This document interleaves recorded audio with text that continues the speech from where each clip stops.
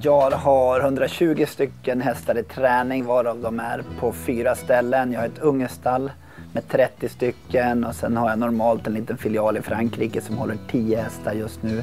Det är lite mindre där och sen har jag två stycken tävlingsstall med 45 hästar i varje och vi delar upp det. Hästarna kan få flytta runt. Personalen får också möjligheten att byta stall om man inte tycker det funkar riktigt. Så jag tycker det är ett bra koncept att ha det och man skiljer sig, sjukdomarna kan hållas ifrån varandra lite grann. Jag har ju eh, 110 stycken varmblod och eh, 10 stycken kallblod. Jag tycker kallblod är spännande. Det är ganska utmanande ras, ganska mycket problem med balans och mentaliteten på dem. Men jag har hållit på väldigt länge och lärt mig väldigt mycket om hästar så att därutav tror jag att jag har ett ganska bra resultat med kallblod. Så att det är lite spännande.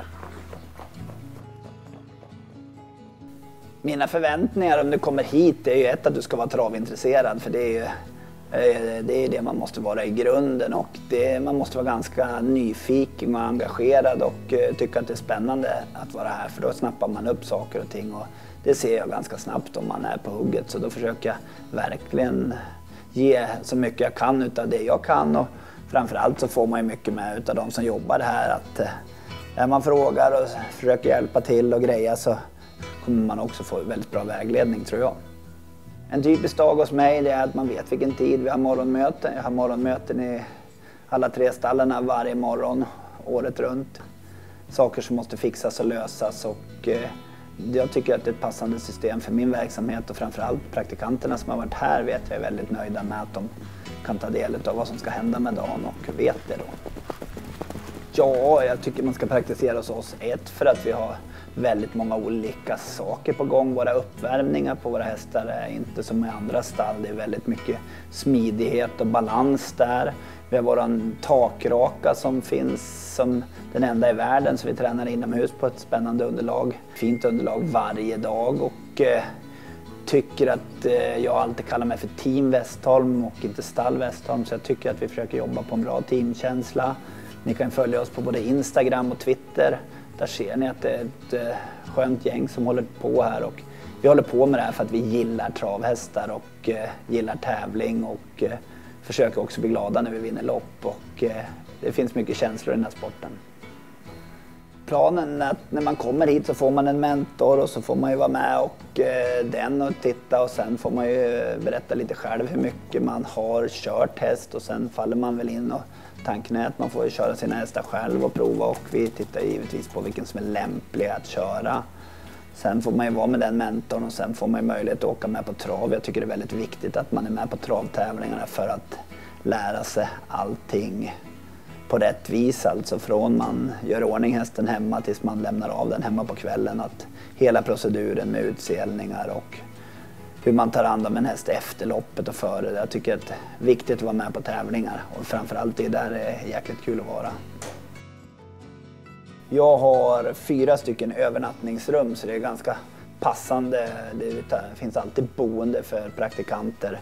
Sen finns det ju kyl och frys, dusch och toalett på de här ställena de här äh, finns och sen när vi åker iväg på trav och så så bjuder jag väl på en mat om dagarna men för övrigt får man ju se till att köpa med sig vad man ska ha. Framförallt så bor alla här på gården så vi har tio lägenheter för de anställda så finns det alltid någon som ska åka in till stan och handla och grejer om man behöver göra det. Så att det, det brukar aldrig vara något problem att lösa det och vi bor väldigt nära till många större städer. Vi har Sveriges närmaste travanläggning har vi döpt oss till. Körkort behöver man ju inte ha här eftersom vi många bor på gården. Sen är ju ett körkort det är alltid bra möjligheter möjlighet till det men det går att lösa det utan körkort att göra. Sen är det faktiskt så att 20 stycken som har jobbat hos mig genom åren har sedan gått vidare och blivit professionella travtränare. Det finns ingen annan travtränare som kan visa på att ha så många som har blivit professionella tränare och eh, det är väl ett tecken på att jag är ganska duktig på att ge unga chansen att utveckla den här sporten. Det var ganska tidigt. Jag, när jag började med det här så kände jag stall. Det var inte riktigt mitt namn. Jag är nog mer en teammänniska. Jag gillar att bygga nätverk, att alla ska vara, få försöka få en teamkänsla och det försöker vi jobba så gott vi kan med.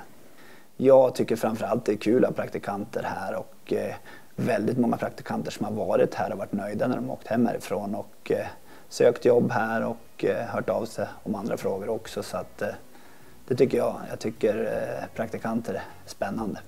Vi är ett internationellt stall. Vi har två stycken finskor, tre norskor. Vi har ett stall i Frankrike, de är fransktaliga. Så att jag tror att det är ett bra ställe att komma till om man kommer från ett annat land. Vi har en låg medelålder på alla som jobbar här och det gör ju också att det är ett spännande team att umgås med.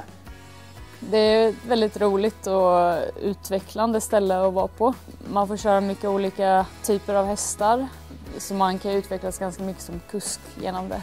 Och det är väldigt roligt. Ehm, jag tycker också det är bra att eh, de har personalmöte varje vecka där de går igenom förbättringar och, och vad man tycker har varit bra eh, i veckan som var och sånt och eh, det skapar bra teambuilding och det känns seriöst och det känns som att de har roligt tillsammans här och det känner man av så trivs jag väldigt bra.